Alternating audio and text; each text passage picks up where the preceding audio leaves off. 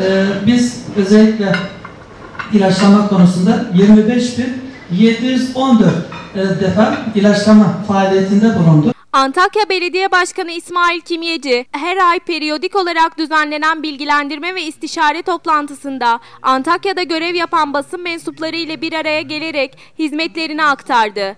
İş makinalarımızla e, iş makine parkımızı toplamda e, dönemimizde 93 tane yeni iş makinesini belediye bünyemize e, kattık. Daha önce de 58 tane aktif halde olan e, aktif hale getirdiğimiz aracımız vardı. Toplam 151 araçla bu hizmetlerimizi yapıyoruz. Başkan Kimyeci'nin gündeminde kentsel dönüşüm vardı.